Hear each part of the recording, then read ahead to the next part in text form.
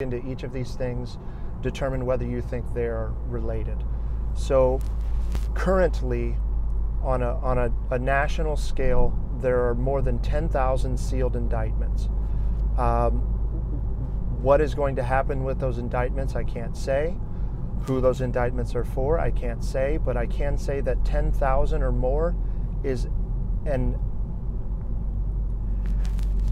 it's an absurdly high number of sealed indictments to have um, at one time in America. And this, this is just the United States, just in our judicial system, more than 10,000 sealed indictments. I'm interested to see what those are for and whether that's part of a RICO case. Um, in a RICO case, you could charge all the conspirators for the crimes if you can convict one person who is a co conspirator.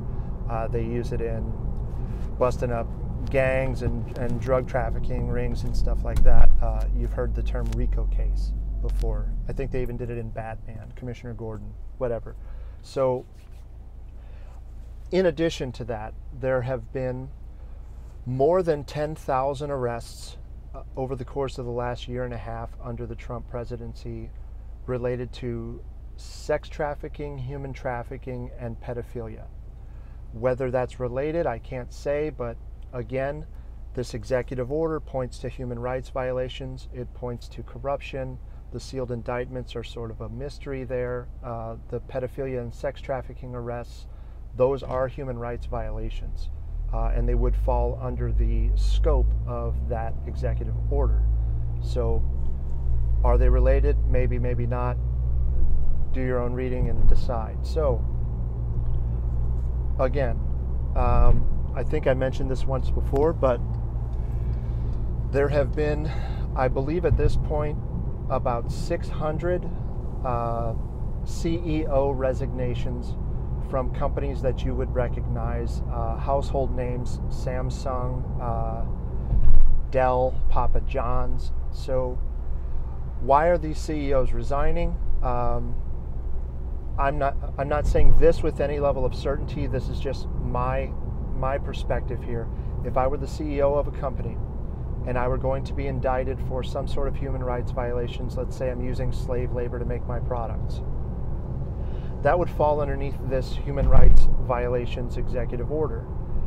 Do I let myself be indicted as CEO of uh, Ben Enterprises, or do I resign and then let myself be indicted as Ben, ordinary citizen, former CEO of Ben Enterprises? I'm going to go with former CEO as opposed to current CEO. Um, that's just my thoughts on it. Look into the CEO resignations. Um, I'm I may be wrong about these things, but I'm not lying, and you're going to hear that multiple times from me. Um, Guantanamo Bay. Guantanamo Bay has been under construction, a good deal of construction. Uh, the Arizona National Guard was deployed to Guantanamo Bay in November, and uh, there's been a lot of I don't know what the source of the funding is for it, but a lot of construction going on at Guantanamo Bay. Uh, is that to make room for people to go there and be questioned? Is it for detentions? Is it an escalation of the, the war on terror?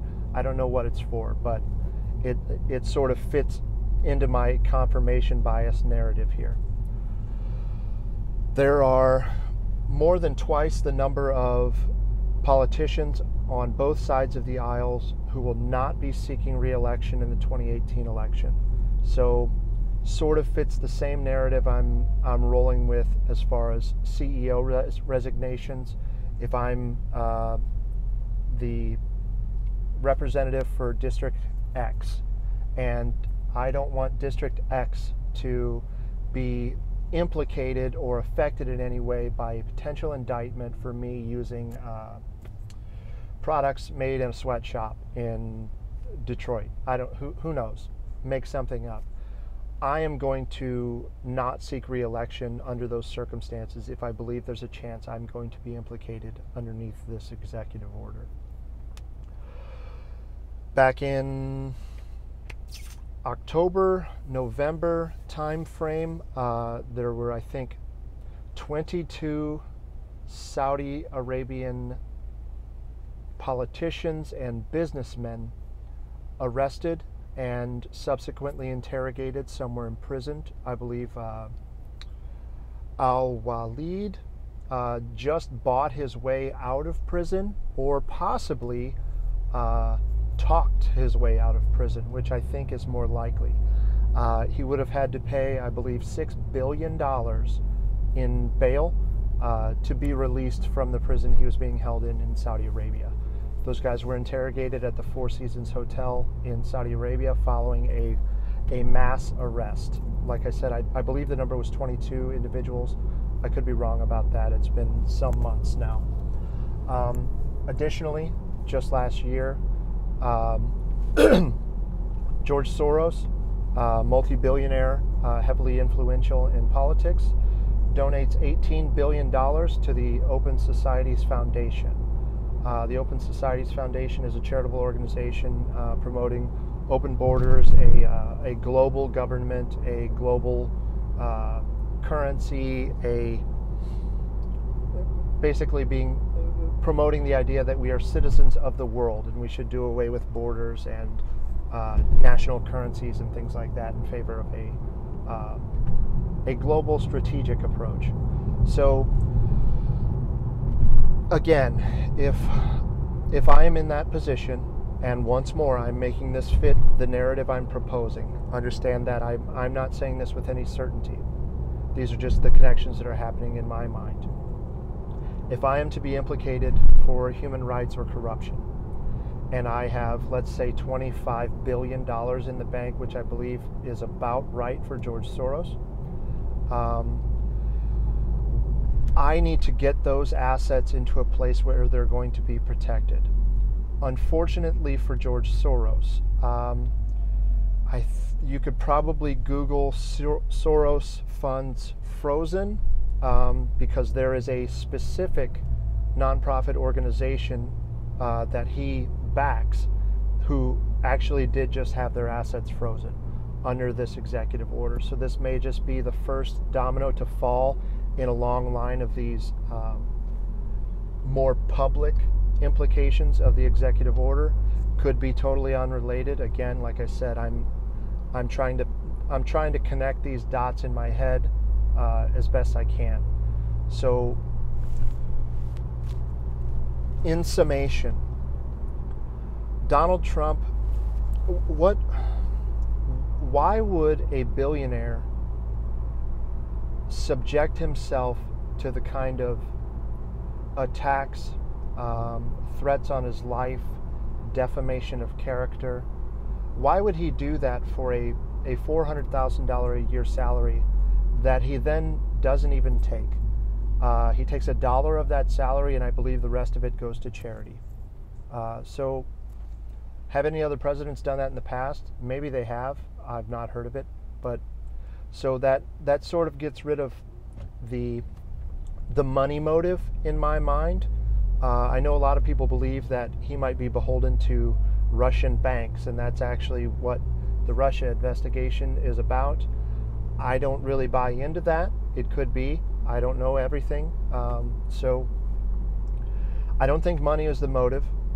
Um, fame uh, could be another possible motive, but he's he's already one of the most famous people in the world.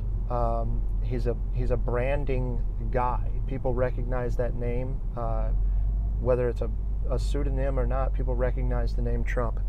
Uh, he's been in movies. He's been on television. He's a reality TV star. He's a game show host. He doesn't need fame. Um, if you look at his actions, it seems like he what other president calls out corruption within his own administration? What other politician calls out corruption within their own district? Corruption that they themselves can influence personally and may have actually caused personally. I've not seen anyone else do that so publicly as the president does through his Twitter feed um, calling out individuals by name who are engaged in corruption. I'm assuming, hoping people that will start digging into that stuff and it'll become more public. Well, what's going on in Adam Schiff's district? I don't know. He's tweeting about it. Let's go and see. So, this executive order is especially important, um, and these are just a few of the things that I think are closely tied to the implications in this executive order. I'd encourage you to do some research for yourself. Um, connect connect the dots whichever way you you see fit, whichever way makes the most sense to you. This is just sort of the the narrative my mind is creating, and once again, I'm not saying that any of these things are connected. I'm saying that that's the way it seems to me. My my subjective perception here is that Trump is is and was disgusted with the corruption in our, our political system. Um, and all of the all of the tentacles that that emanate from that central authority. Um, I think people on both sides of the aisle can agree that our, there's a good deal of corruption in the government. Uh, there's a good deal of corruption in banking. There's a good deal of corruption in business. And what I don't understand is how people are so vehemently opposed to Trump's America First agenda and and this sort of agenda where we're going after human rights violators and stuff. That seems like a bipartisan issue. And it's interesting to me that in spite of it being bipartisan in, in appealing to both rational logical democrat republican it, it has vast it has broad appeal mass appeal. And yet there's very little conversation at least from what i can see in my this much time I see the mainstream media at the gym. There's very little conversation about these pedophilia arrests, very little conversation about sex trafficking, very little conversation about drug trafficking, very little conversation about any of these things that are linked to the human rights abuses and corruption that are outlined in this. So, draw your own conclusions. I'd love to hear what you guys think. Um, please send me a message if you think I'm wrong please send me a message if you think I'm right. I really want to hear your thoughts about this because again, like I I can't I can't fit this stuff into another narrative. And I think I'm a pretty creative person, but I also have biases just like everyone else's. I'd really like to hear what you think. Thanks.